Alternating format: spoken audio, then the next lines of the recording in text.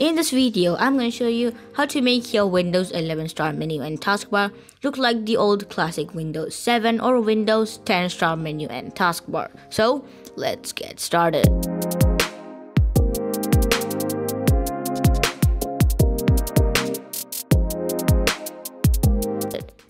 Alright, so the first thing I want to do is hand out a link in the description that'll take you to this website right here that is introducing Start All Back. Here as you can see we've got the website right here. Here all you gotta do is click on the download button right here, download 3.1.2. And here as you can see it's right now downloading onto my computer, you just have to wait for it to completely download. As soon as it's done downloading, open up File Explorer on your computer. And then just open up the downloads folder. Here as you can see we've got the setup right here, Start All Back 3.1.2. Just double click on the setup. And here if you want to install start all back only on the user you're right now in, you can just select install from me. But if you want to install the software on all the users available on your computer, you can select this one right here. I'm going to select install for me. And I just have to wait for it to completely install. Here as you can see our taskbar has shrinked in size. Just minimize all the windows on your computer. And here as you can see we've got a new window right here that is start all back configurator. And we've got three options right here, the proper 11, we've got the kinda 10, and then we've got the remastered 7.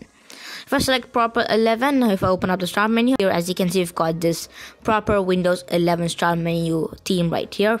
If I select kinda 10, now if I open up my start menu here, as you can see, the icon has changed right here. And we've got this tiled start menu, and we've got this tiled taskbar here as well. If I select remastered 7, and as you can see, we've got the Windows 7 start button right here. We've got the Windows 7 style taskbar right here. And if I open up the start menu, here as you can see, this is how our Windows 11 start menu looks like. Windows 7 start menu looks like. You could, you could even increase the size right here, which you couldn't do on Windows 11. Let's go back in here. We've got the start menu option right here where you can just select use large icons and all those really cool um, other stuff you want. In the taskbar menu here, as you can see, we can change the icon to anything you want. You can select this icon right here or this whatever you want. Let me go back to welcome and then select kinda 10. And let me go to taskbar and then select the visual style to default. Now here as you can see we've got the default visual style right here. Let me check this box. Now it, now it has centered the task icons right here. If I open up my start menu here as you can see this is how my start menu looks like. Let me go back to welcome and then select proper 11 and then go back into taskbar and then change the icon to this icon right here. Now if I open up here, as you can see, we've got this really cool star menu right here, which is pretty small and neat. We've got our small taskbar here as well, which is pretty cool. Our search bar on the other hand is the default one, but the thing is that our start menu and all the and the taskbar has changed completely. Now one final thing is we've got the about tab right here. Now one caveat is that Start All Back is not a free software, it's a paid software. Here as you can see, We've got a 30 day free trial. So we've got 30 days for you to come to use the software for free.